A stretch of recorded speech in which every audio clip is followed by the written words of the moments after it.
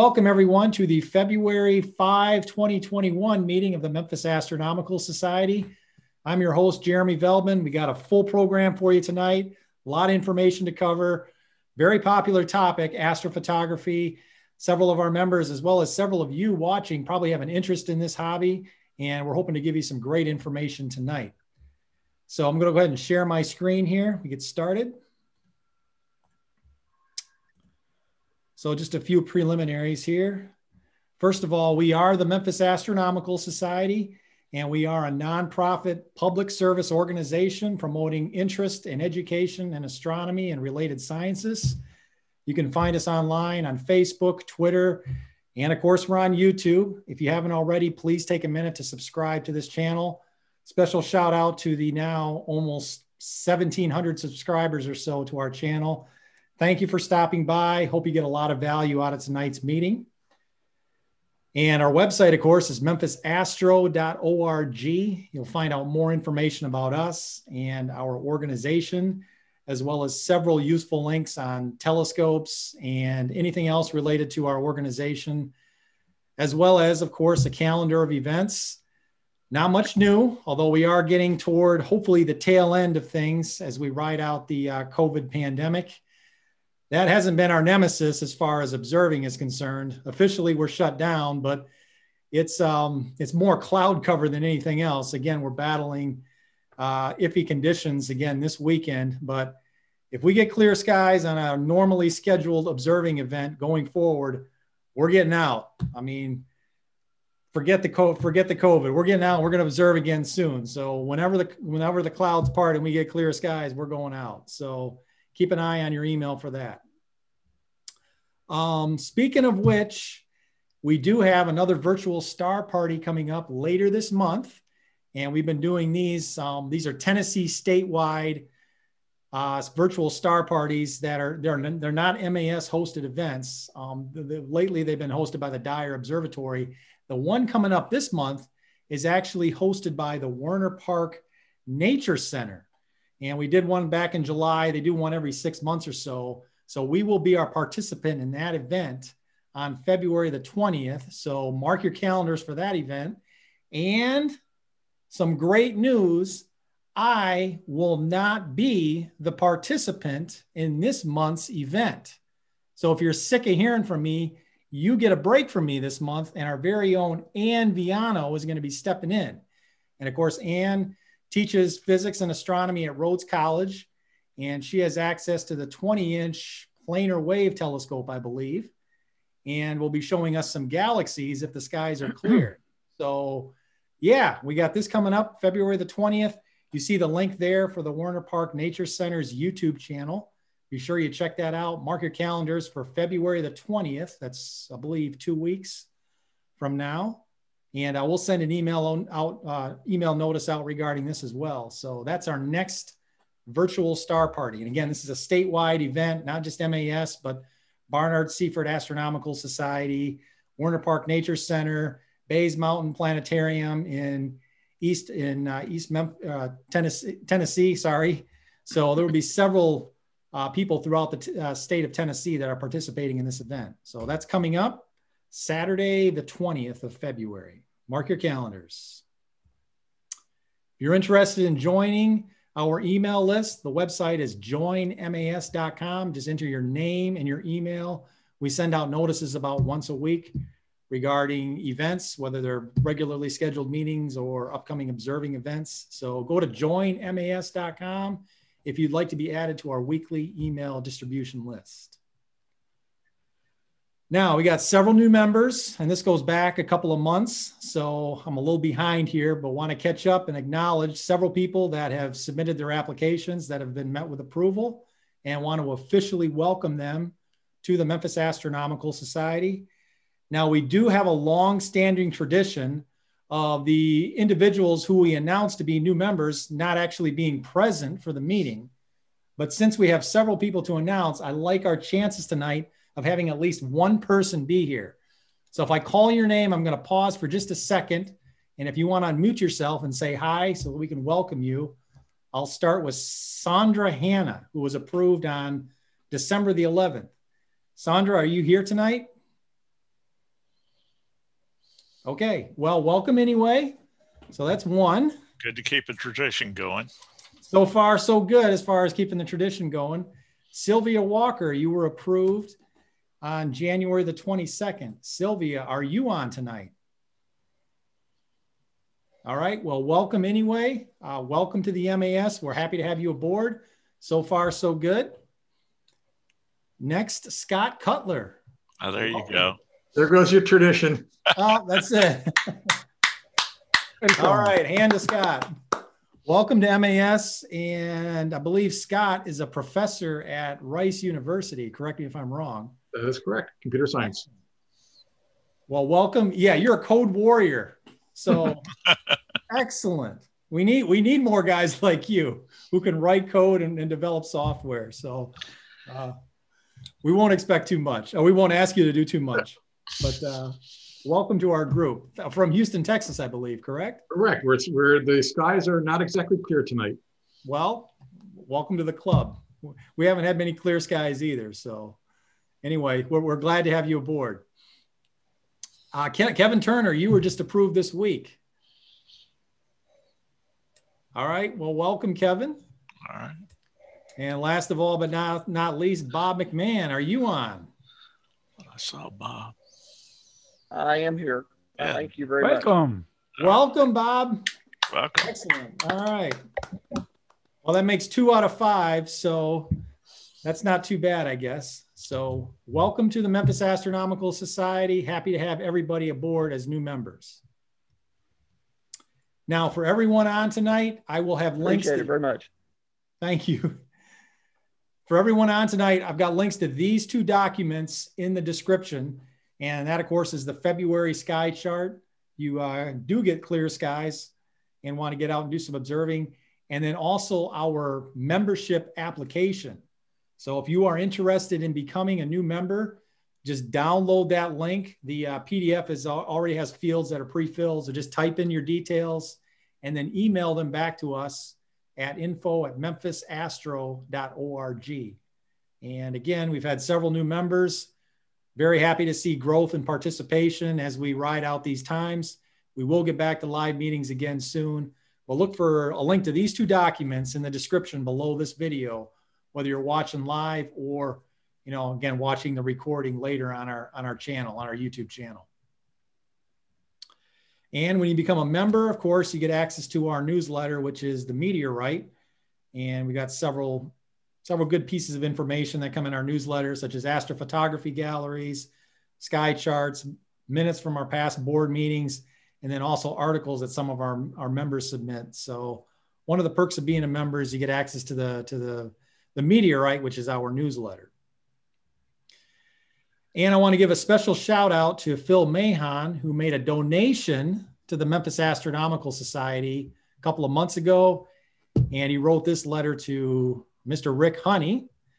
And I'll just read it here. Here's a small donation to the MAS. Your organization sponsored my daughter's presentation on Does humidity affect my ability to see the stars? That was her eighth grade science project. That was about 10 years ago, and we're both still grateful. Please keep up, keep up the good work encouraging our youth to engage in real science using the scientific method free from the culture, cultural and political biases of the fear du jour. Take care and explore the heavens. Sincerely, Phil Mahon. Phil, again, thank you very much for your generous donation to our organization. And we will put those funds to good use to continue to grow and expand our reach. So thank you very much. So with that, we're going to go ahead and just jump right into our main program.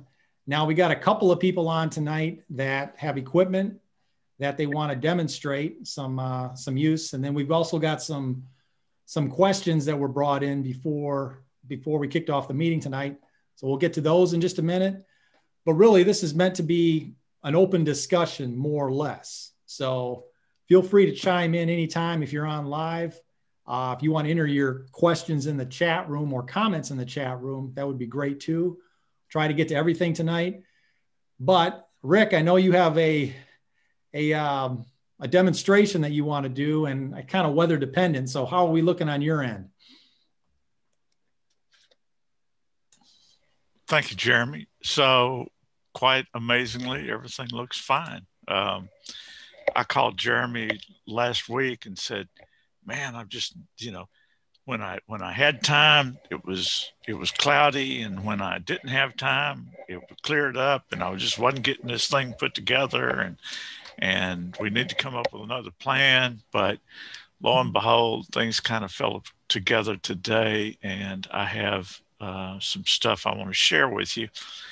so back before Christmas, I got a. Uh, I'm gonna stop. I'm gonna start sharing screen. So here goes, Jeremy.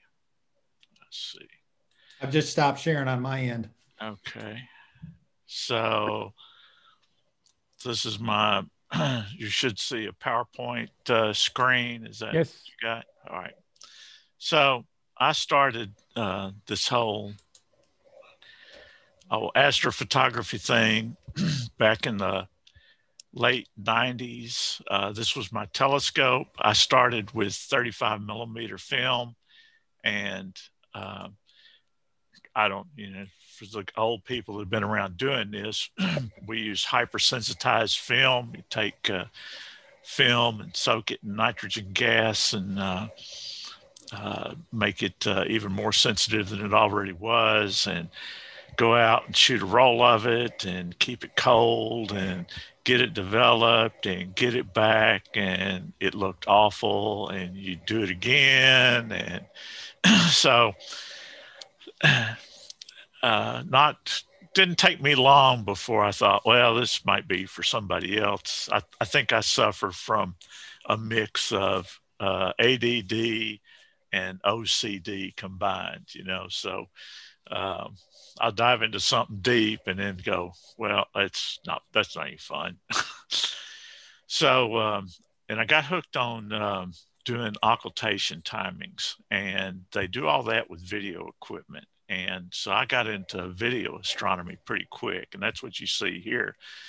This was uh, set up to, uh, see, that was. Uh, Venus transit, I think, uh, that I that this setup was for, and uh, uh, and then I took everything and we went to Oklahoma one evening with this setup over here on the right. That uh, uh, one is was the Lunar Prospector. It was one of the lunar satellites. They crashed into a crater at the south pole of the moon, and they wanted to try to capture any evidence of of of uh, water uh, in the debris or dust layer that was kicked up from that. So they asked amateurs to get out and record it. We did. We didn't see squat, but it was a fun trip. Turned out the Hubble didn't see anything either, so I didn't feel too bad about it. Um, then I graduated to a Mallincam camera. It was a color camera that was uh, more sensitive and actually did internal uh, frame stacking, a lot of nice features, but at the end of the day, the chip size was too small to suit me. What I what my goal is is not as much astrophotography. I mean, I will do some of that and play with it, but my goal is to be able to show people live in an audience what the telescope is looking at. and so this is my current telescope and uh, that I'm using for this. And uh, the camera for it, I got, I decided I wanted to re- replace the Mallincam. So I got something with a, uh, was it APS-C uh, chip. So it's about the size. In fact, it's the same chip that's in my Sony uh, uh, DSLR. And uh, I got a small guide scope, but I got to reading about all this stuff. And see, I had, I had on this telescope, I had a, a USB 3 hub, power supply for it, uh, USB connections to the telescope, all the cameras, and I kept running into traffic problems over the USB to my laptop. And at that point, I'm sitting there going, really, I don't want to run two long USB cables here. This is what a hassle, blah, blah, blah. Uh, power distribution was getting a little out of hand. And then this, I saw this little box, that little square thing on top of the telescope. It's a ASI Air probe. and they've taken a Raspberry Pi and added a power control module to it, put it all in a nice little aluminum housing, and a, a whole bunch of really fine software to go with it. And it basically replaces my laptop. You can run everything with a cell phone. I happen to have an iPad, so uh, they don't have PC software for it. You do it with a um, a laptop or a uh, uh, uh, what's the other stuff if it's iPad. not a what an, um, iPad?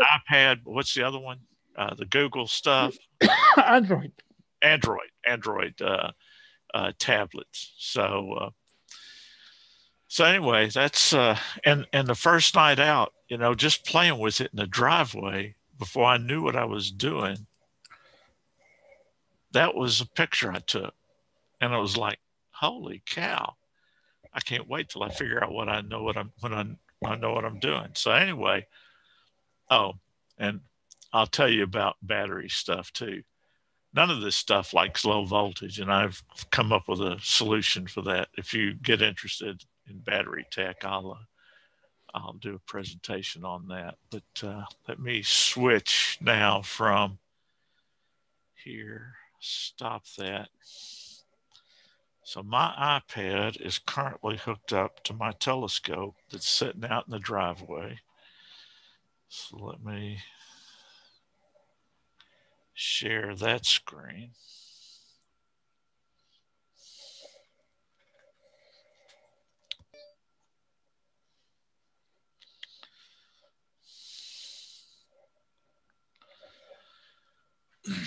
All right.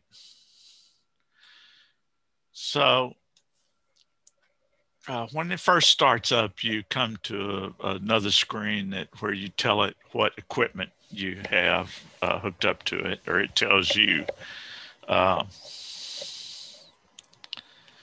and you can select what kind of telescope you've got, uh, what kind of mount you're controlling. I use the EQ mod uh, system uh, rather than using the handset from my Orion Atlas. Uh, I go straight to the uh, mount itself. Um, I don't want to try to back out to the screen because I'd have to reconnect everything, and I don't want a chance losing that connection. So uh, this is basically what you'd come up to when you got started. This is the camera uh, the main camera controls. Uh, I do have cooling turned on. I'm not sure I really need it. I'm not doing long exposures. Turn that off, just save some power. This is my guide camera, uh, and I just got that to work the first time tonight. So really happy about that. It turned out it wasn't focused. That helps. Um, you can control a filter wheel and a focuser with it. Uh, I don't have either one of those. And you can uh, you store all your images either on the built-in SD card or a thumb drive. the Wi-Fi controller here, I'm don't trust Wi-Fi for interference reasons. So this is actually I've run an Ethernet cable out there to it, so it's running in a hardwired mode right now. But if you you you want to start with say a polar alignment, right? So first thing you do is polar alignment, and this is just more easy than you could ever possibly imagine. Uh, you just tell it to get started. I knew what plate solving was, and I knew you could do it with images. It never occurred to me that that you could do it live while you were uh, working on this uh, with the mount. Let's see. Okay. So the next thing it's going to do is is rotate the mount um, about 60 degrees, and uh, I don't have a camera out there to watch it. I do have a ring doorbell and you can see it from my ring doorbell, but it's dark and so you can just barely make it out.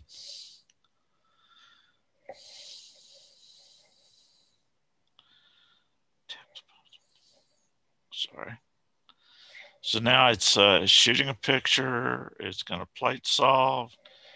It, and when it does that, it also calculates the focal length of the telescope. So all the math it does after that, it's not based on what you're um, what you're telling it. It's uh, based on what it, how it's calculating it.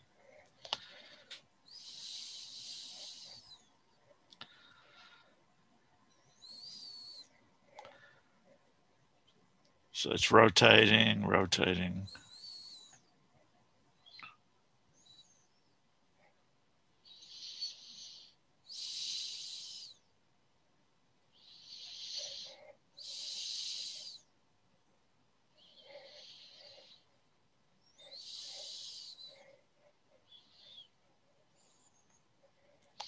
All right, so now it's uh, shooting. Uh, so it's calculated my uh, total amount of error is uh, one minute, um, six seconds, and two minutes. So it's a little off.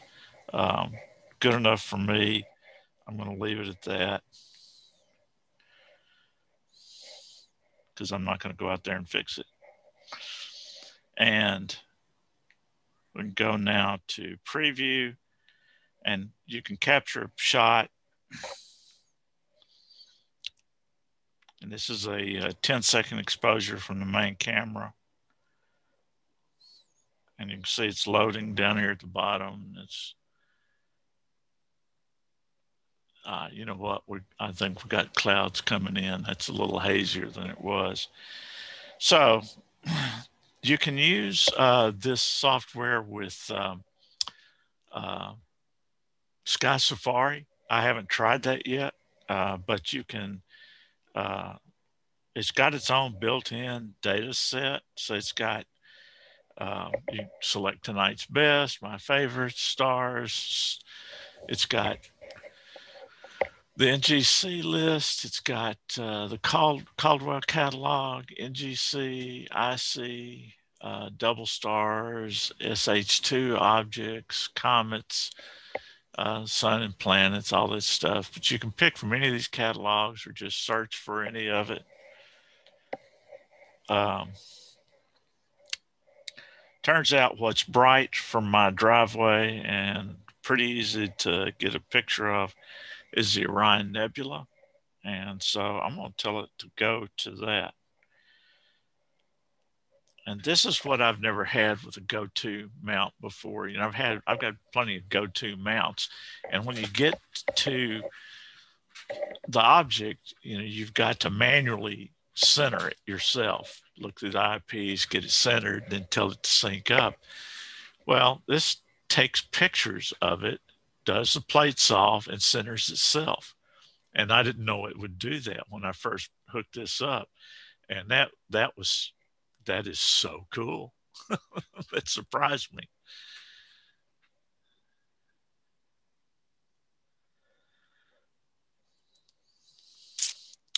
So it's validating. Ah, I got it right the first time. So there it is. Yeah, we're getting some haze in here. That's a little more washed out than it was earlier. Uh, that's a 10 second exposure. Uh, but there's uh, the Nebula and Orion. I've got some, oh, and it, we got some, uh, I got some collimation problems. Coma.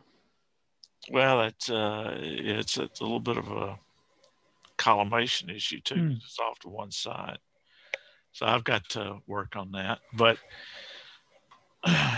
this is, uh, this has really been a whole lot easier to set up get started and get going without knowing what I'm doing than I would have ever guessed. Uh, you can combine pixels, that's what binning is, and get uh, basically by doing that, you get more sensitive, uh, you can get shorter exposures but less resolution. Uh, you've got an auto run feature, so you can. Uh, Are you guiding now, Ric? Uh, I'm not guiding now, but it will. Uh, let me.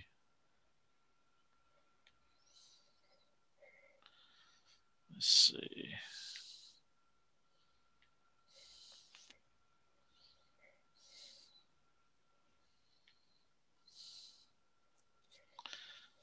Okay, so this is the guiding function and it is guiding. And I ran this through calibration for the first time just before the meeting started. Uh, I had never gotten to this point before with it.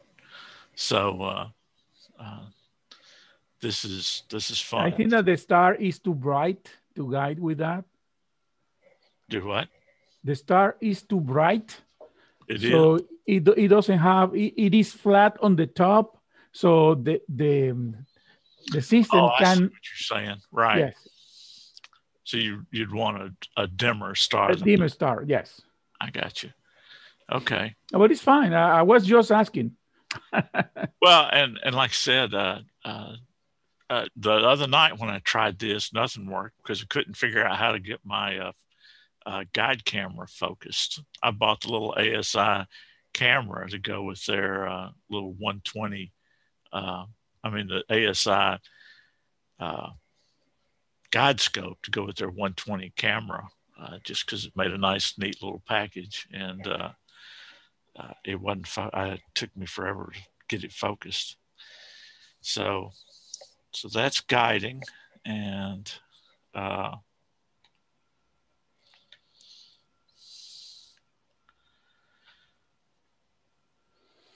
and what else can I show? it's getting better the guiding Yeah. And from what I understand, it will, of course, as it as it Yes. does, right? yes And then uh, auto. Let's see, where did it? So did it automatically pick that star to guide on? Or you said? I I had picked it earlier uh, Okay. to run the calibration, so I think it remembered that. Maybe. It does pick it. It does pick uh, a star. Oh, it does. Okay. Yeah, automatically. So let's see. Uh, where did the? That's not what I'm looking for. What I'm looking for is.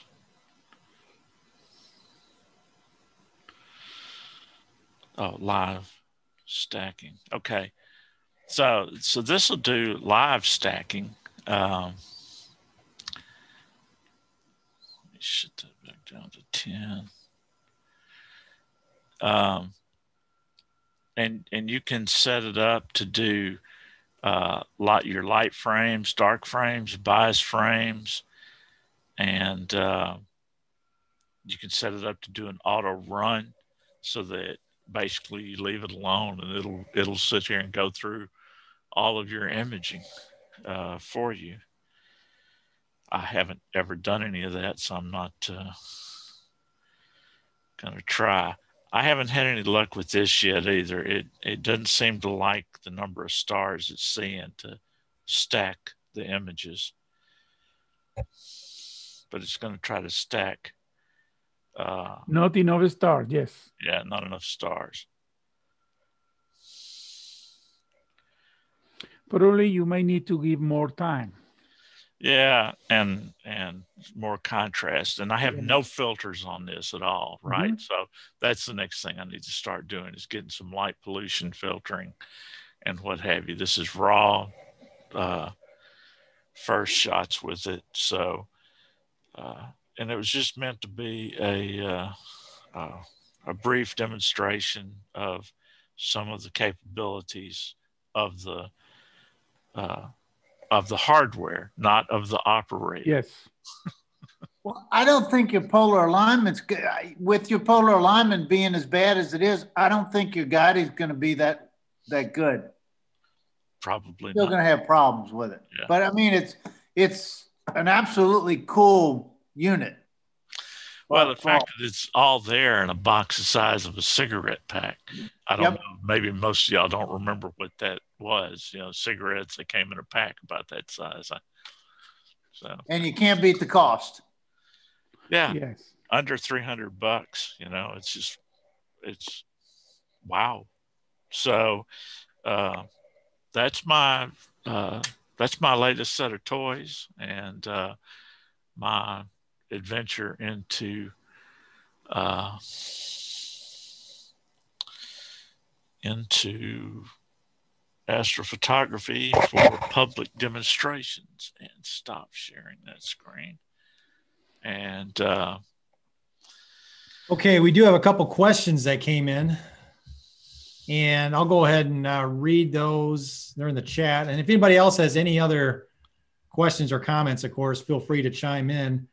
So, Rick, the first one is Do you have the Atlas or the Atlas 2? I have an older Atlas. EQG. Atlas E- EQ, Atlas EQG. That's what it is. Okay. It's the old model. Yeah. It's the same I have. Same as the one you have, Freddie? Yes. Excellent. And then, a, you know, a question I had actually is uh, how much does your setup weigh? Because this could be a portable rig, correct? I mean, you could drag this to a dark sky site if you wanted to, potentially. You can, depends on your scope at the end. The mount weights, um, uh, the tripod weights like I would say maybe 30 pounds. The mount maybe 40, a little bit more, 45. But it's something you can you can move yourself. To. The the mount head itself is the single heaviest piece. Yeah. Yeah. That's the one I bring to a lot of the, the star observing sessions. Yes. So it's it, it's portable. You just have to kind of plan ahead. Yeah. Fortunately for my driveway use, I have it on a dolly that just rolls out. Yeah, I saw that. I was I was trying to decide if I could sneak over your house and slip away with it, but Yeah. That'd be something I'd be interested in stealing too. And, and it's not for the metal. oh no, it's for the weight. No.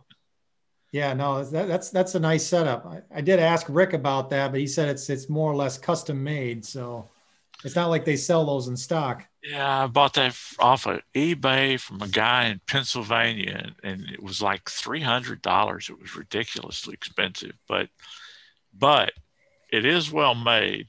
The only problem with it is I don't like the design. It is it's unstable. I mean, you've um, the wheels are inside of the Ah. tripod legs, Yeah, you And want them out. moving it around you it's easy to get the center of gravity over the over the wheels pretty quick and Yes.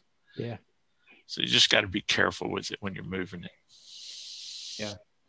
Hey, Rick, You go from the from the uh, garage to the driveway. There is always a step. Yeah. You gotta be careful there. right I was going to say the same Hey- thing. You can see, you hey, can see uh, accidents happening there. that's steve uh, have you tested the distance you can get on the Wi-Fi? so that's okay so that's another problem uh, with this little thing uh, you know it does two uh, 2.4 gigahertz and 5 gigahertz 5 gigahertz you better be within 5 or 10 feet of the telescope to use that it's you know they've the antenna for the Wi-Fi is on the circuit board and it's all wrapped up in a nice little aluminum enclosure. So Yeah, it's, it's blocked it's bad, basically. right? The 2.4 is not cage. bad. It's, you know, it'll, it'll get around 20, 30 feet. Uh, it gets a little uh, sketchy out around 50 feet. Uh, uh, Wi-Fi can see right now my Wi-Fi is about 50 feet from it and I wasn't going to trust it to stay connected to Wi-Fi. So that's why I ran the ethernet cable out there. But uh, the, there are a number of people they you can get a little uh, Wi-Fi hotspot to plug into the Ethernet jack on it and have it right there as well. Uh, with a better antenna.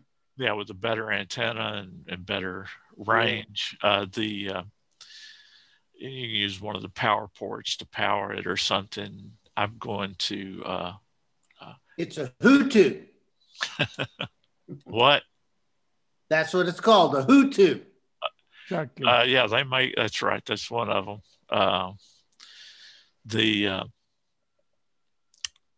I'm going to use one of the power ports on uh, on the little uh, ASIAIR controller to turn on and off uh, my green laser pointer, so that when I'm when it's trying to go to something, uh, I can turn that on. It's a high powered green laser pointer and it'll show what the telescope's pointing to in the sky. Uh, that's my next project.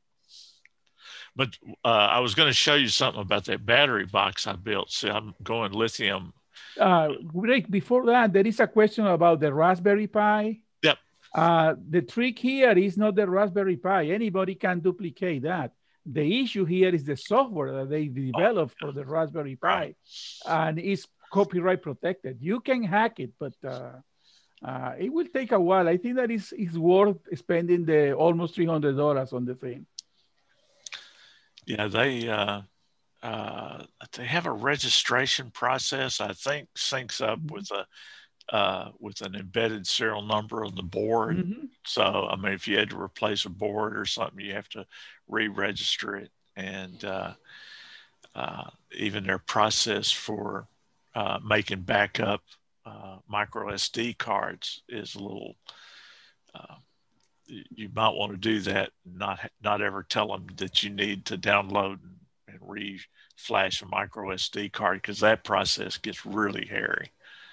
So I went ahead and backed them up myself. Um, but the Wi-Fi gets flakier as the voltage goes down on a Raspberry Pi. Raspberry, their board will take up to 15 volts on the input. So I run my I run a boost inverter off my lithium iron phosphate battery to make sure that no matter what the battery voltage is, the input to the Raspberry Pi is at 14.7 volts. Uh, and that that stabilized things a lot, even for my mount. My mount likes to have uh, more than 12 volts on it too. So, uh, and that that's one thing I think people run into and don't realize it is they you know carry out these 12 volt battery packs. You start getting around down around 10, 11 volts, and things quit working right, especially mounts and uh, other such stuff. So. Uh, I'll do a thing about battery packs and how to make your own sometime and what have you if you like. Hey, Rick, we had a question about the total cost for your rig, not just the uh, the Raspberry Pi, but the OTA, the the the, the mount, the tripod, everything. Well, I bought the I bought the mount secondhand. Uh, paid uh, eight hundred for it, uh, which is a good deal until I had to replace the motherboard and one of the drive systems in it. But they were flaky, you know, which is, I guess, probably why the guy sold it. But uh, uh, all in all, it wasn't bad. Uh, the OTA, uh, I think I gave 1100 for it. I bought that brand new. Uh, that's a carbon fiber Ritchey-Chrétien eight inch. And uh, uh, the camera, uh, the big camera on the back end, that's a uh, ASI 071. That was about 1500. The little computer was 280. The 120M M that uh, I don't know what those go for now. I, I bought that two or three years ago. I think it was about two hundred dollars then and then the uh, little guide scope was a hundred bucks. Uh, so that's that's that's about it. Uh, the laser pointer was twenty. Got to have the laser pointer. Oh yeah, got to have the laser pointer. And we had another question here. Uh, what is better, uh, an off-axis guider or guide scope setup like you have? I have both but was told that my long focal length, I needed a AOG, uh, OAG. I'm sorry. OAG is off-axis guider, right? Yeah. Uh, I, I'm not. I'm so so. I'm not the a guiding expert. Uh, uh, I can't honestly. I don't understand why the one would make a difference over the other, but I bet Merrill has some input on that. I think Merrill uses off axis on his. Well, mine's built into the camera. It's got a dual chip, and so it's it just picks it has a mirror picks part of the, the stream off. The longer the focal length, the less number of stars you have to choose from. That's that's my biggest issue. Um, so the shorter the focal length, you got a lot, lot more choice.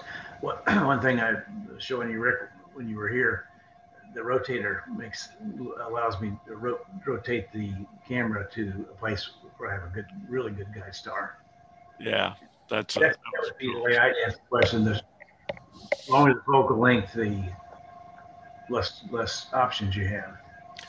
Which is why I would think you uh, an off-axis guider wouldn't be that much more beneficial. You use a separate guide scope with a wider field of view, you can pick a lot lot more star choices, right? Correct. Yep. And you have resolution problems then because you're, you're going to have a small movement that gets amplified a lot. Right. The longer focal length lets you get off uh, less because you're zoomed in closer on your guide star. And the other aspect of it is the pixel size on your guide camera. The smaller the pixel size, the better your guiding is going to be. But if you have a 2000 meter, 2000 millimeter focal length on your telescope and you're trying to guide it with a 240 millimeter guide scope, it's going to get off quite a bit before the guide scope says, hey, you got to get back on. That makes sense. That makes sense. That that's what I was told. That's that's the reason I went with the off, the off axis guider because my my telescope is 2032 millimeters, and with the the guide camera and scope that you have, Rick, my focal length is way off.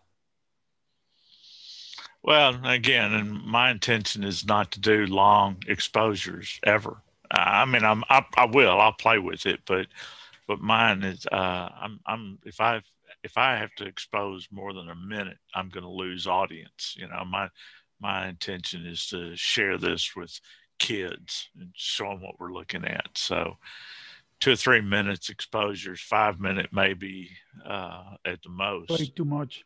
Yeah.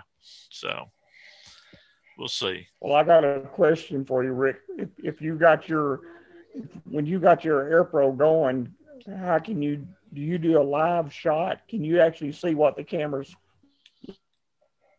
Yeah, it's it's got a looking at, or do you have to take exposures? you can no, it's got what they call preview mode, and you can tell it how long is an exposure to take, and it'll do it and pop it up there.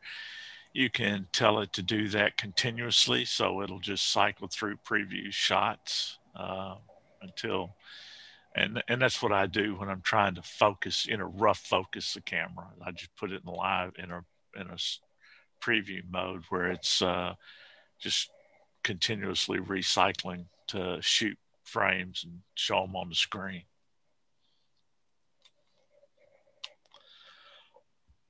A question for Merrill, actually. Merrill, does longer focal length guide better if you have the stars?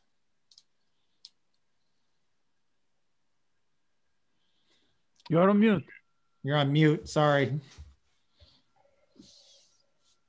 I think what the reason, I mean, I have three different focal length telescopes and I decide what kind of, and I do it in cycles of six months or a year at a time. What, do I want to have narrow field of view or a very large field of view? So Depends right on the object. I'm sorry.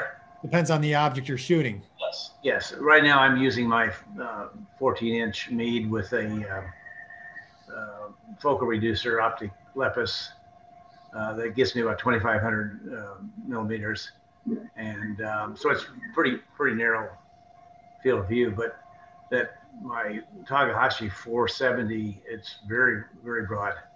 So I'm not sure I'm answering the question. What was the was it was the question about guiding? Yes. Yeah.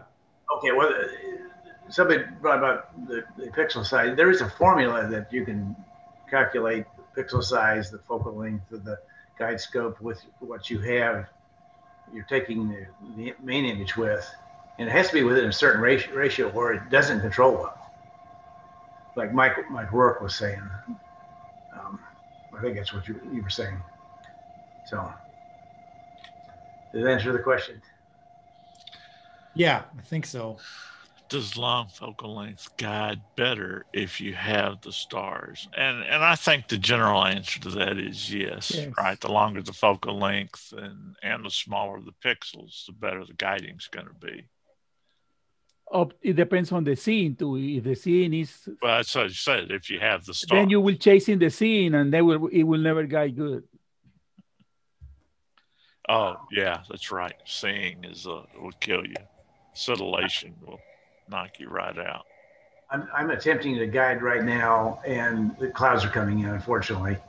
And I was down to my AO8 was guiding at two tenths of a second image, imaging, and perfect until now. Just now, clouds are killing me. Somebody needs to invent a cloud filter. You'll be filthy rich. What was that cloud gun? Somebody uh Yes, I posted that. you Does gotta anybody be careful with that one. Go ahead. With that cloud gun. All right.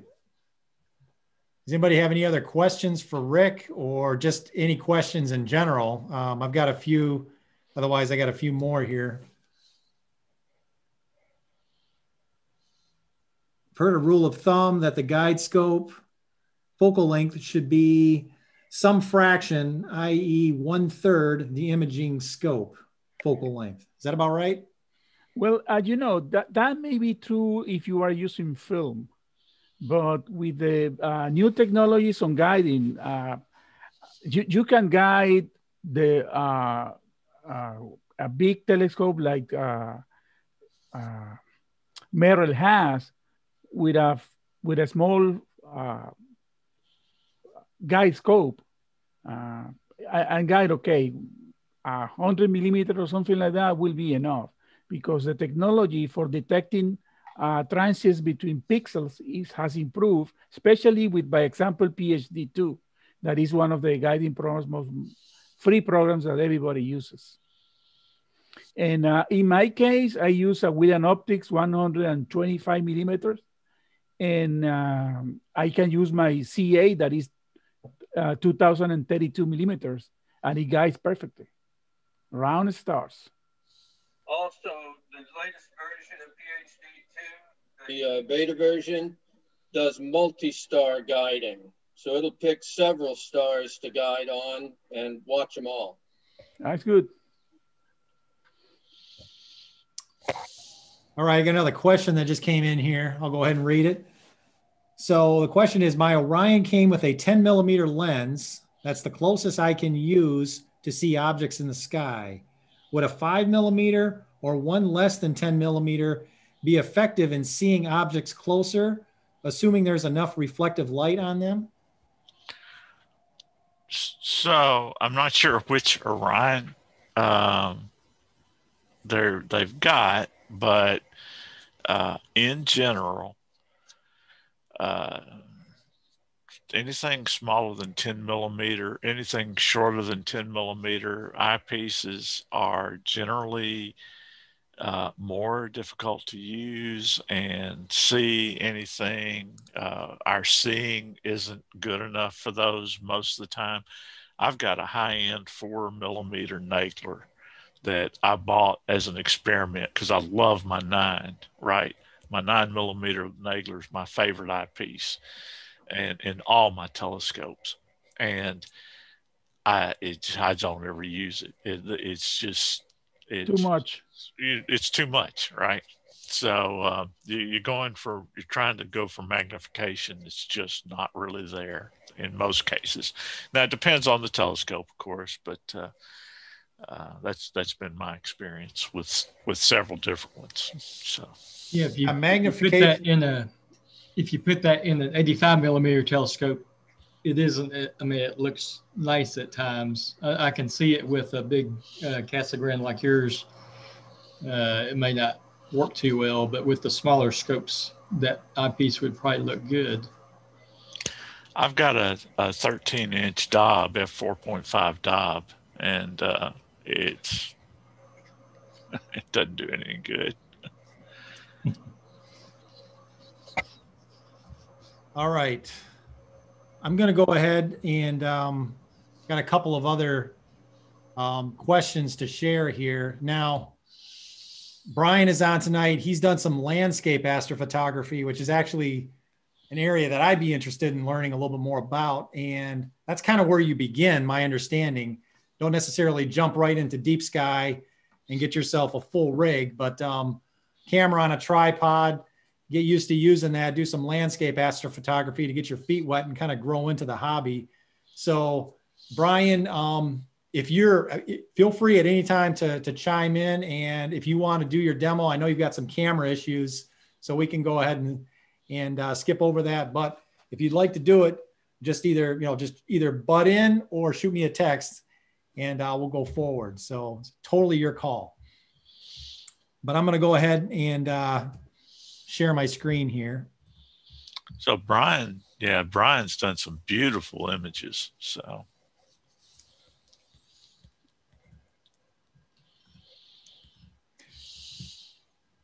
Okay, so this one came in. Um, I've been looking at the astronomy.tools website, specifically the CCD suitability calculator. One of the selections in the calculator is to, uh, to pick is the seeing conditions. There are selectors for exceptional seeing, good seeing, okay seeing, poor seeing, very poor seeing. And I would probably go ahead and add um, an exceptionally poor seeing. That is Memphis. So anyway, um, since this affects the cameras that people buy, my question is, what is the typical seeing in the Memphis area? I think we just answered that question. Within Memphis slash uh, Bartlett city limits at Burton Sugar Farm and at Village Creek. I'm assuming that we will never see the excellent seeing, but maybe the good seeing or the average seeing. What are the other members? Uh, what have other members based their camera selections on uh, that you will be using imaging in the local area and not take your telescope to Hawaii, et cetera, assuming that you will not be taking it to Hawaii, but you're doing it in the local area. So I, I got a couple of comments about that. One of them is we have actually had excellent seeing, and we can get it from time to time. It's not common here, but we do get it. What we suffer from more than seeing is bad transparency. Um, and and that comes from so much water vapor in the air mostly and then of course there's light pollution. Uh, but uh, seeing is all about mo- no, seeing's not all about seeing is mostly about laminar airflow in the upper atmosphere. If you've got good steady air um, moving not calm but steady moving uh, you you've got a chance of having decent seeing Yeah, and Freddie, I think you actually made this comment as well. I mean, Memphis is the hub of FedEx. So yes. we get a lot of jets. 500 planes a, a day. Yeah. So it's a little like John Kerry, right? He's now the new, what is it, chairman of the environmental committee, and he's got the private jet with all the, the fumes. So I don't know if we have one plane after another that goes out over overnight, uh, whether the fumes from the uh, from the FedEx jets would affect the seeing conditions because you need Not the see the transparency. Oh, transparency. Yeah. Okay. Well, if you are uh, taking a picture of something and a plane passes through, uh, that will that will affect your seeing too. yes. Yeah. I have, so on that, I have lots of those. Yeah on that site that was just mentioned, I just had seen that, you know, picking the camera based on the, the I guess, the pixel size of the camera, uh, that comes into play in that particular uh, calculator that was just on the screen too. Uh, well, there is an issue. Uh, the uh, pixel size is not something you can choose, you know, for, for a variety. You have three 3.5, 4, 5.5. Yeah. There is not much variation between those. So just just try to pick the one that suits better your telescope and guess the scene is good. All right.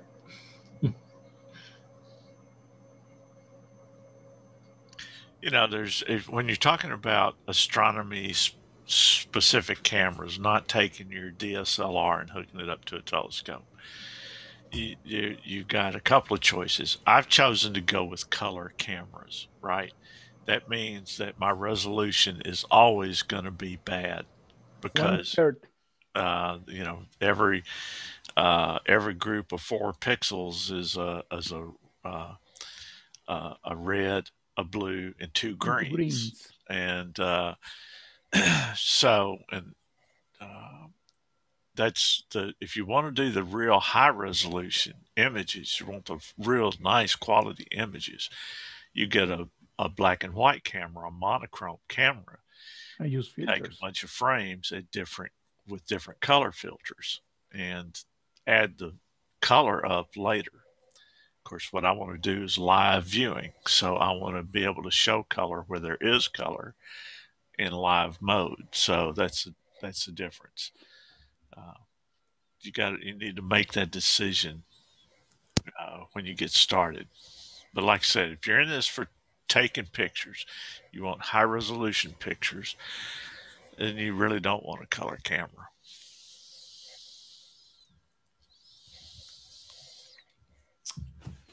And I'll go ahead and just. Where you have to take a lot more frames. Uh, yes. To, to make up for it. At least three times more.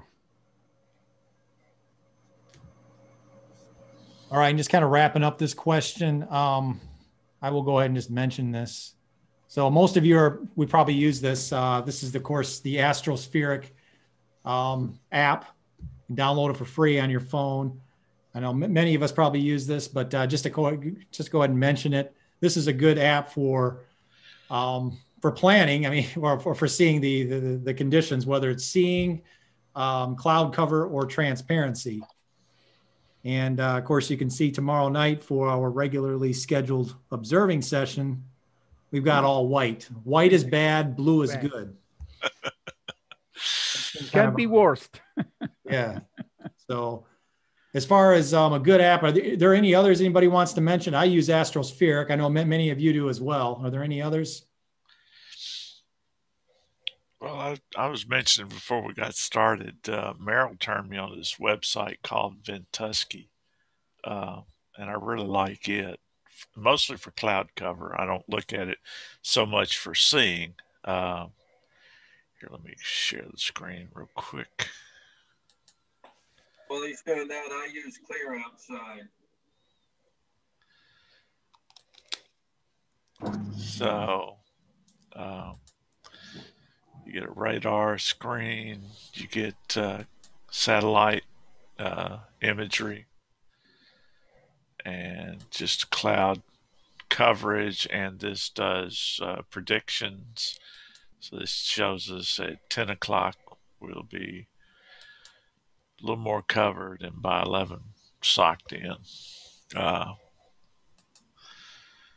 Uh, you can look at uh, calculations for low, middle, and high clouds. Uh, what what I always liked about this is the uh, wind flow uh, mm-hmm. that they show, and they can give you some good indications of what some estimations about seeing, and so you can get to a whole lot of different elevations and see what the airflow is like. And you can see major differences at 250 meters, 100 meters. Just above the ground is pretty slow.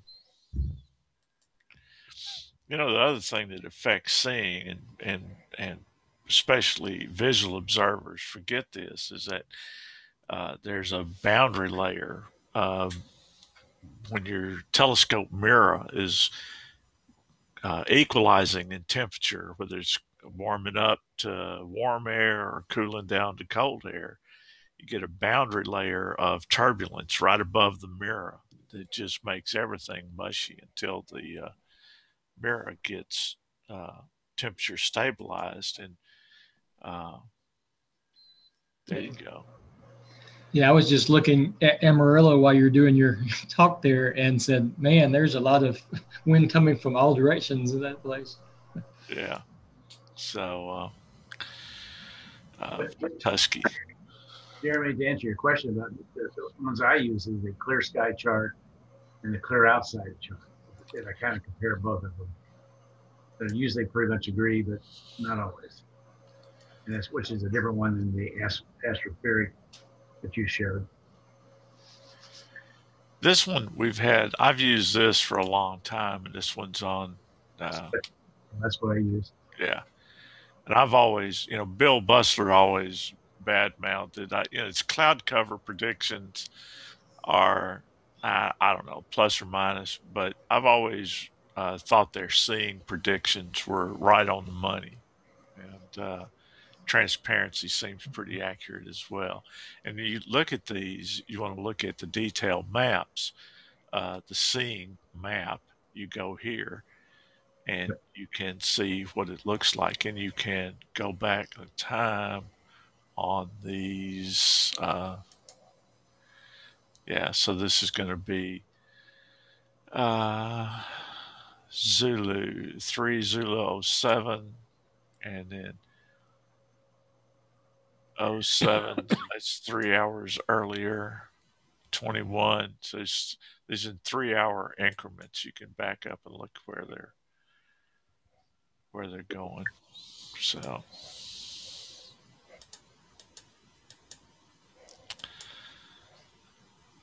same way Yeah. for each one of these. There's Yeah. a cloud cover map. So anyway, Yeah, I use this one a lot because I remember memphisastro.org and that's, I know it's right at the top. it is there. By the way, uh, here's a little preview. Uh, our our uh, Steve has really done a great job with our uh, updated website. We're working on it, hopefully to have it ready to uh, to go live pretty soon. So Neat. Looks nice. yeah, Yeah, I think it's going to be pretty cool. Time to start cracking the whip so we can get this done. You know, it seems like no matter how much I pay Steve, he just works on it whenever he feels like it. You I know, mean. I don't know, man. We gotta have a we gotta have a private conversation. hard to get good help these days. I know it is. Pretty excited though once this gets launched. All right. Um, let me go ahead here. Okay, this one came in. How does using narrowband filters affect camera settings and taking calibration frames? Uh, your calibration, the only calibration frames that should can be uh, affected is your uh, your flats. It won't affect the darks or the bias, but the darks, well, the flats will be affected because that is the light path. Yeah, you need a set of flats for each each filter. All right. So, uh, so you're saying if you're shooting all your colors, right, your luminance, red, blue, and green, and then if you're using any uh, hydrogen alpha or O3 or anything like that, you shoot those all separately. Yes. sir. And you need to have flats for each of those. Uh, okay. Narrowband take a lot longer to to uh, to accumulate the, the exposure because they let less light through. Oh, of course.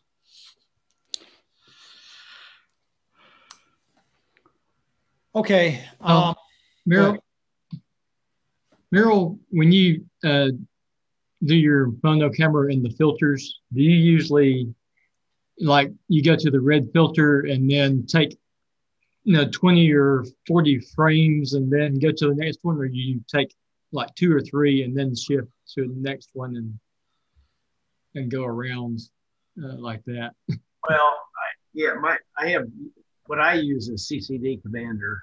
It's the kind of the shell that controls everything, uh, and I normally do my my overall target is 30 to 4 hour 30 to 40 hours of exposure. And most of that's going to be luminance. And so I'll get 20 hours of luminance, five out, five minute exposures, and then then I'll get a couple hours each of the red, green, and blue. And then if if it's a good hydrogen alpha, I'll get several hours. Of that's that's the hydrogen alpha is just beautiful stuff. The, the, amount of detail it shows. So you put them all together. I, so I do. I typically try and do tonight, and then the clouds have moved in. I'm farther north than you guys are, um, and the clouds have already shut me down. But um, I will. I will take days worth of, of um, luminance before I do anything else. Okay. Red, green, and blue. I just you know a couple, couple three hours of each, and that's all I need.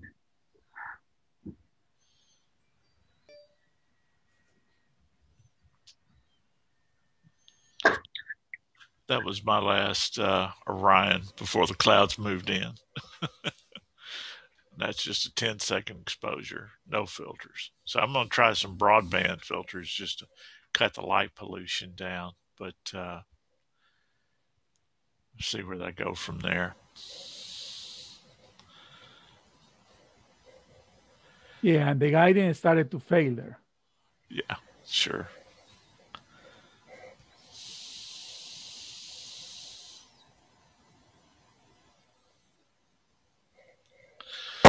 All right. Um, does anybody have any other questions? If not, I I'm sure people have got some questions about equipment, and I did want to cover a couple of uh, slides on that, but I'll open it up here for just a second. Earl, uh, when using the uh, red, green, blue filters, some people bin it two by two. Do you do that? Just take your luminance at one by one and the colors at two by two, or do you just not worry about it? I've tried it both ways. Uh, it's just easier to do uh, in one by one, to me anyway. Now I will do if I do plate solvings. It uh, I'll do, I'll, I'll usually three bin. I've been three by three, but because it just gives a crisper image to plate solve. But other than that, it's one by one.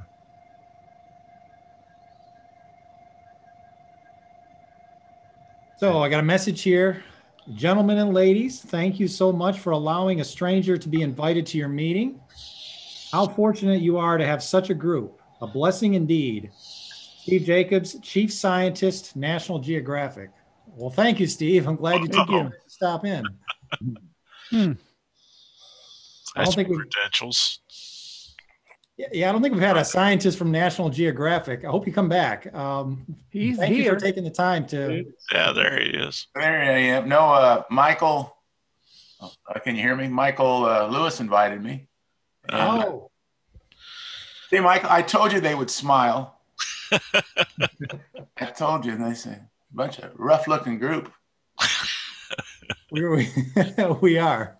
I know, and I want to thank you. I, I worked for uh, Don Herbert, Mr. Wizard, for 25 years. I'm an old chemistry professor, so I'm just I'm soaking up astronomy.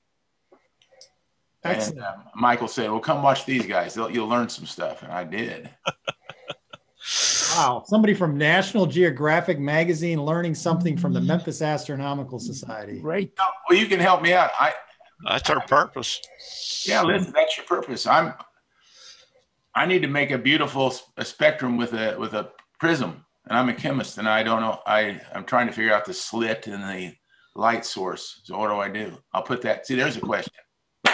You guys are all. Um, You you want you want uh, you want to show the spectral lines of a given element, no, I just this is for this is for full yeah, spectrum. yeah, full spectrum.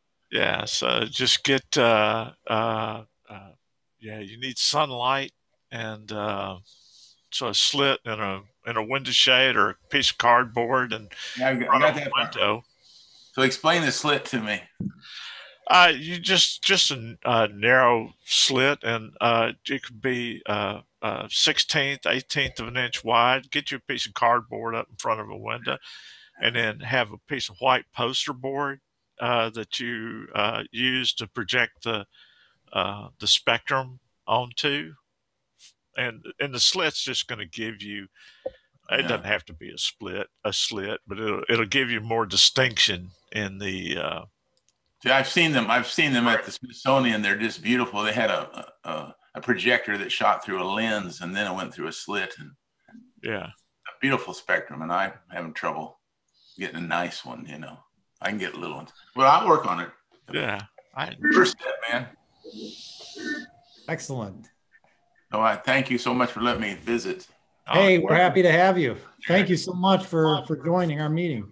Well, I will, and I'll I'll tell my boss I need. What's your dues a year? Five hundred. I'll tell the boss I need some money. ah, there. there you go. Mr. Mr. Jacobs, it, it was uh, nice of you to stop by. Yeah. I'm glad that these gen- nice gentlemen allowed me to invite you. Ah, Well, they were a lot nicer than they were a lot nicer than you described, Michael. I thought you people would all have square heads and a horn, you know, and here you are, this guy. So We're unusually well behaved tonight. This is not normally how we are. Normally, it's a you know it's an all out brawl. all right, no, I like this group. This this yeah, this is a good group. Hang with Thank you very All much. right, well, thank, Thank you. you. Get out of here. You bet. Uh, Brian, um, how we looking? Can you can you do your um your demo?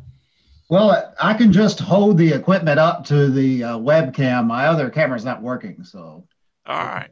So, um, but um, basically, I just wanted to show you a um, couple pieces of equipment, and um, I'm sure most of you have heard that the best telescope is the one that you use the most, and uh, and I think uh, astrophotography is a little bit similar. The best camera is the one that you use the most. So um, that's one reason I like DSLRs and just shooting on a tripod. Um, and when I do use a tracker, usually I just use this little Polarie. I wouldn't suggest buying this new. This is about 300 bucks new, and and right now for four or five hundred dollars, you can get um, trackers that come with a lot of extras that this doesn't have. But what I really like about this tracker is um, if you compare it to a camera, it's actually quite a bit smaller than a camera. It fits in your bag, and uh, you can go out, take some, you know, wide field exposures. Um, you don't have to have any cables. Um, you just throw it in your camera bag, and uh, and you're done. So I'm going to share a couple of pictures that I've taken with this, but um, uh, there's at the front you you connect your ball head. Like I said, sorry I don't have the other camera for this. It's fine. But you connect this at the front, and then at the bottom, if you wanted to make it even lighter, you could connect another ball head, especially if you're shooting uh, 50 millimeters and under. And um, you could connect that to the tripod and you're ready to go. This, um, give me a second, let me share a screen. The first picture I'm going to show you, uh, give me one second.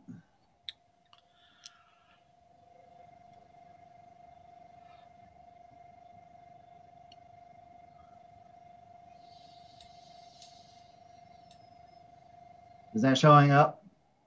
Uh, no.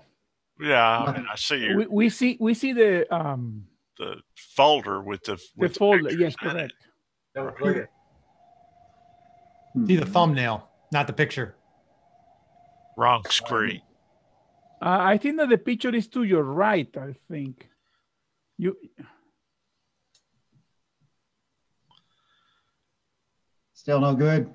No. Hmm. Have you got two not- screens, Brian? Okay, let's uh close it up. Sorry guys, give me a second. Take your time. There you There go. it is. Ah, excellent. Beautiful. Yeah, isn't something? So this is actually without the polarium, just camera and tripod. And um, and uh, we were camping at um, Bruneau State Park, um, south of Boise, Idaho. And what I really like about just taking single images, this is a single image, and um, and I spent about I don't know two or three minutes on Photoshop just uh, adjusting the levels and the color. And if if you're thinking about getting into astrophotography, I really suggest you do start out with just camera and tripod and uh, take some photos like this. Now, this photo is a little bit easy because it's a Bortle 2 sky. Um, it's a little bit difficult to um, take a single image like this from the city. But, um, you know, if you just get a DSLR and a tripod, uh, you're going to save a lot of money and then you can figure out whether you like astrophotography or not. And it's it's a good just you know no hassle way to get into astrophotography.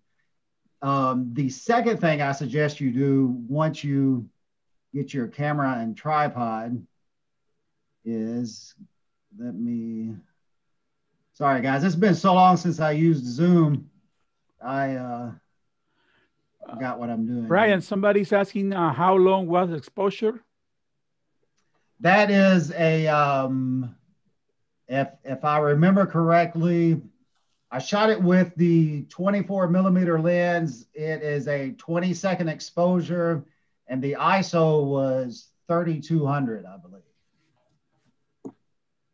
Now the, um,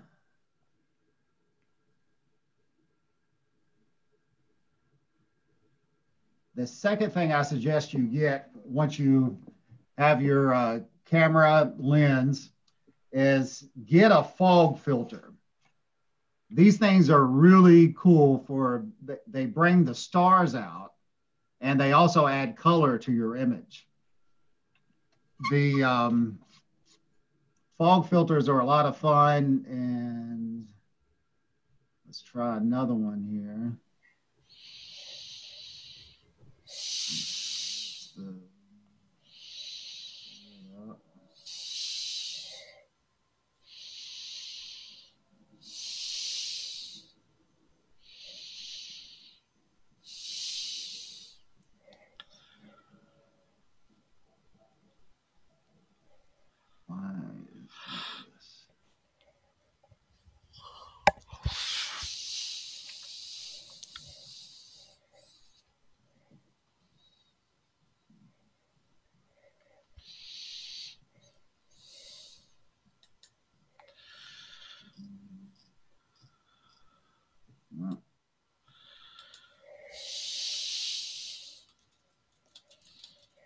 Here we go.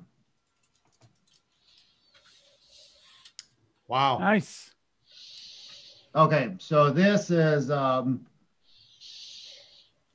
Wonderful. this is a shot actually from Belize, and um, and again it's a Bortle two sky, so it's a it's kind of cheating a little bit. Again, you're not going to get a single exposure like that from the city, and um, and you probably wouldn't get that from Burton's either. Uh, you, you, can see there's almost no light pollution um, on the horizon. But um, again, this is similar settings. With a fog filter, you have to be a little bit more careful with your ISO settings. And you have to be a little bit more careful with your exposures because what'll happen is the stars, you know, you, you can even see that Betelgeuse is starting to get a little oversaturated. And, um, and the size of the stars start getting a little bit too exa exaggerated. And, um, and so this one, you know, probably I should have uh, lowered the ISO a little bit more. But again, this is just camera, tripod, fog filter, um, and I wasn't using the Polarie. Um, for the, um, uh, the other important thing about the lens is you definitely want to get the fastest lens that you can. The, um, the lens that I have is a Samyang and it's a um, it's f one point two. Really? Wow. Really That's a fast lens. It's shot wide open, and so you can if you start to look at the stars carefully, you can see that you know it's it, that's actually not trailing. That's distortion in In the terms of the lens. lens, yes. Yeah. And then the uh, last one I want to show you is uh, one that I used the Polarie for. And hopefully it won't take me five minutes to show you this one. Hey, Brian, how many millimeters is the lens? 24 millimeters. For the actual DSR is a super wide angle then.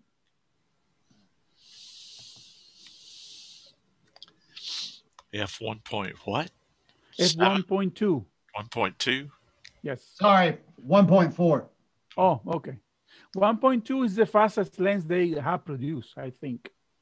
I haven't seen anything faster than that. Uh, there is too much distortion on the edges.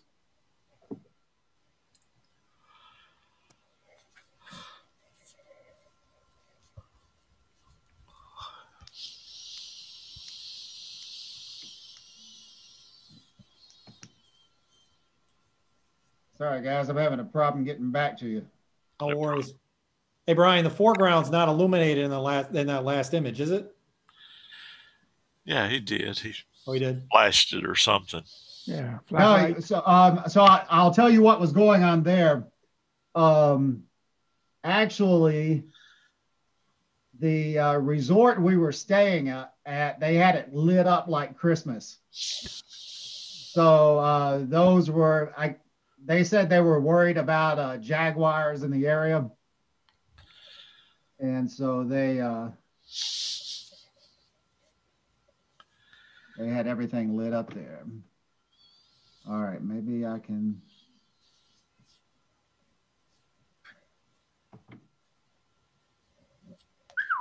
Nice.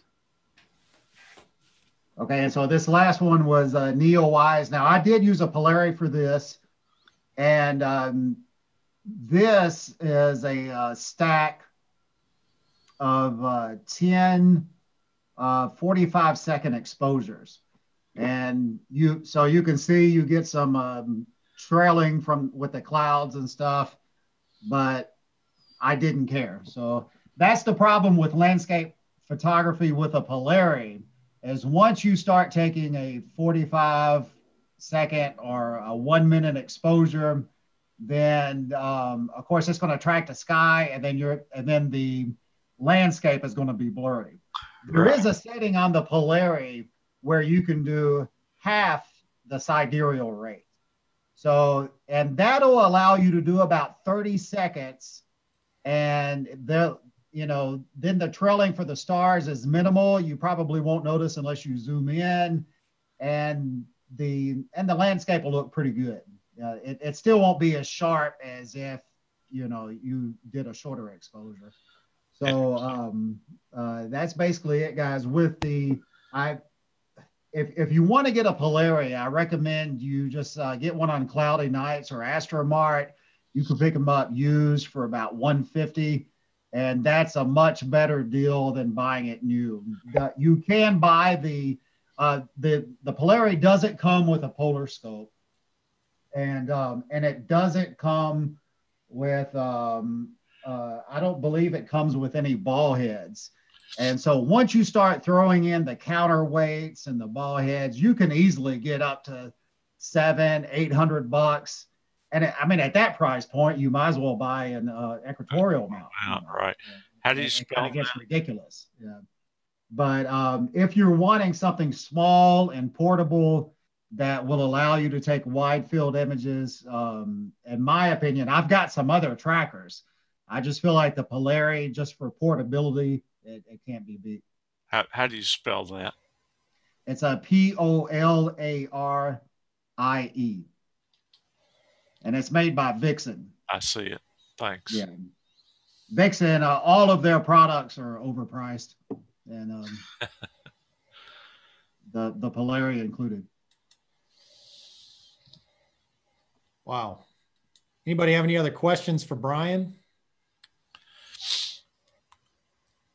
So speaking of Orion, um, Betelgeuse made the news the past year because of the great dimming. And if anybody's caught the March issue of Sky and Telescope magazine, um, an article on the great dimming of Betelgeuse was featured on the cover.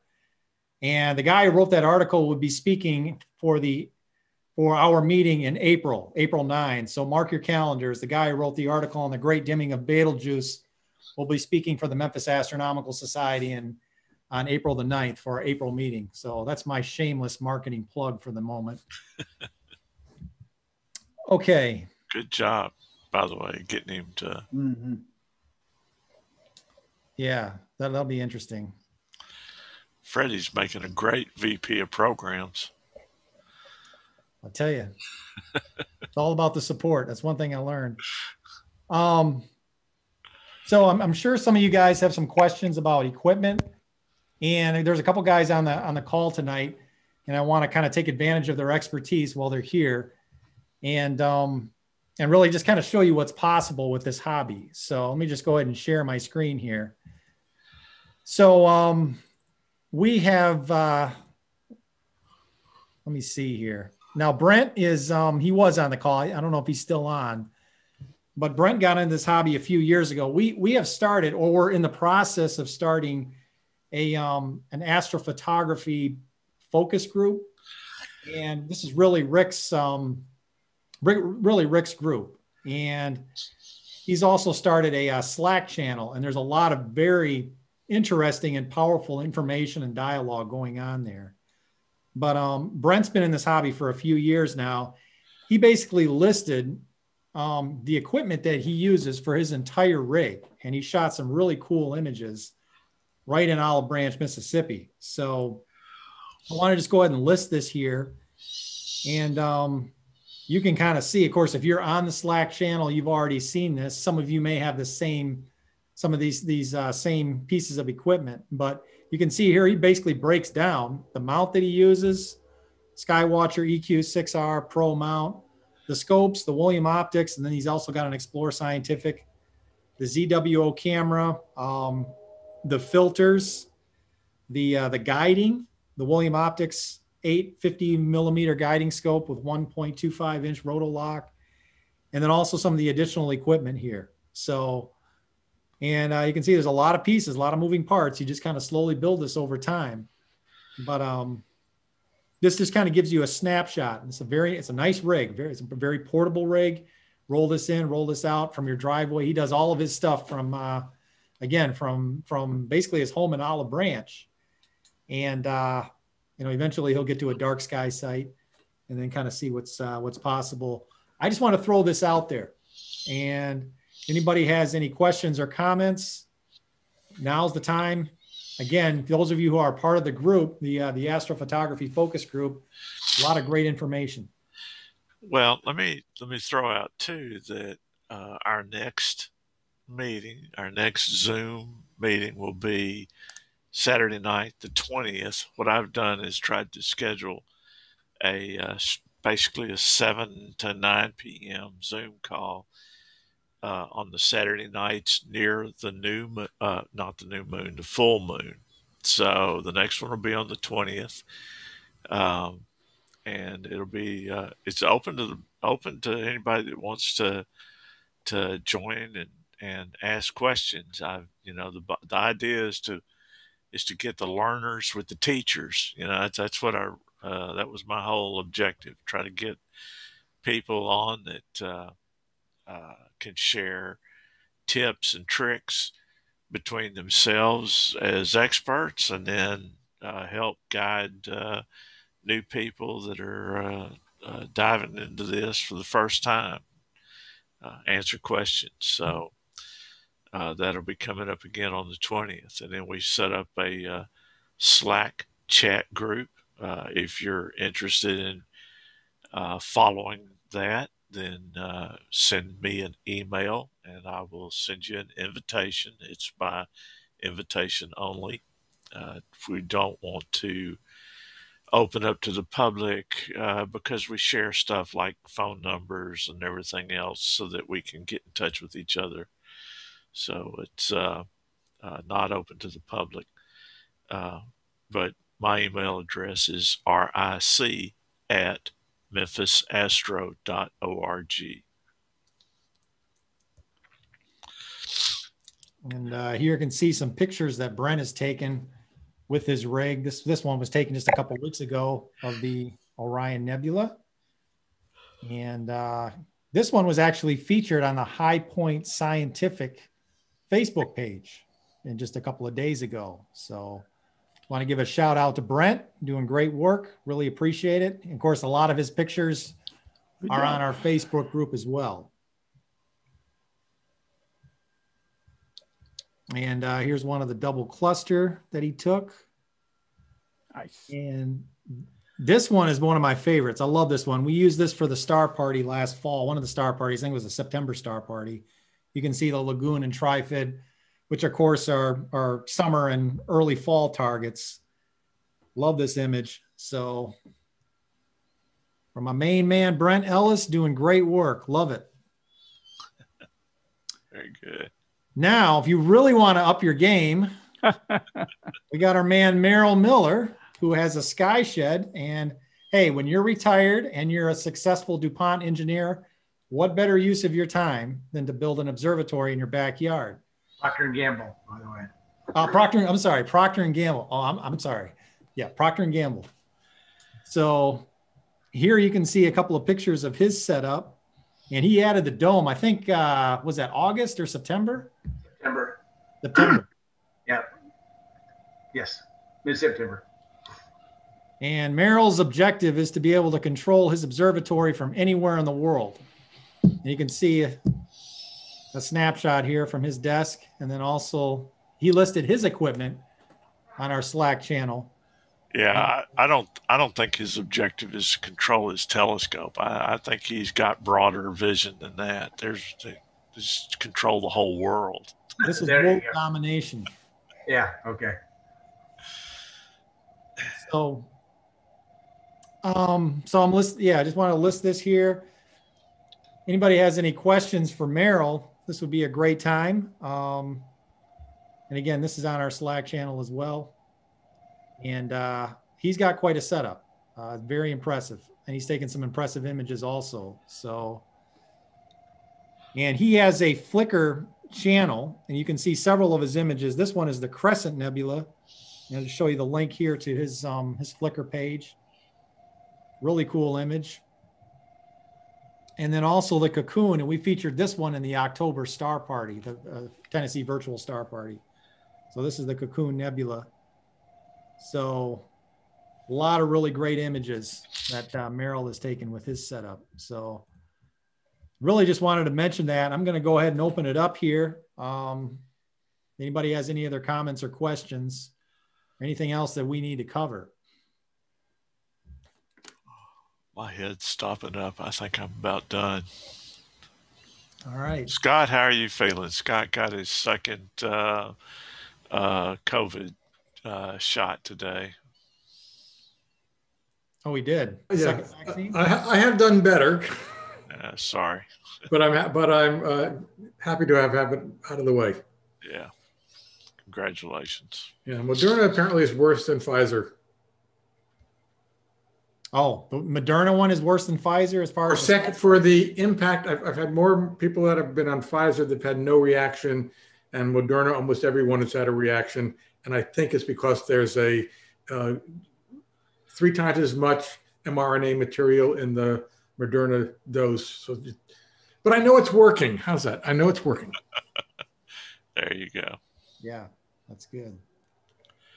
So, well, great. Um, I'm going to go ahead and wrap up here. If nobody has any other questions or comments, um, let's see here. Yeah, I Oh, it. suspect I will have in the months ahead. I'll have more questions, but I'm just getting my head around how everything works. Okay. So I mean, it's a a whole nother realm. There's a lot of information. Um, it's it's a journey, definitely, right? Who's done this for a while, this is there there there is no destination with this hobby. It's it's a journey more than a destination. So uh, with that, just gonna show our information. Let's see here. Do we have any other any other uh, questions? So that's about it. Um, again, if you want to join our our email distribution list, go to go to joinmas.com. we will send an email out regarding the next astrophotography focus group meeting that's coming up toward the end of the month. So if you're on our email list, you will get um, you will get a notice regarding the next astrophotography meeting. Again, it'll be a Zoom call.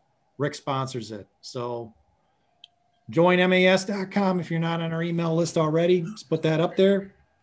And again, we've got links to the sky chart for February as well as the membership application in the video below.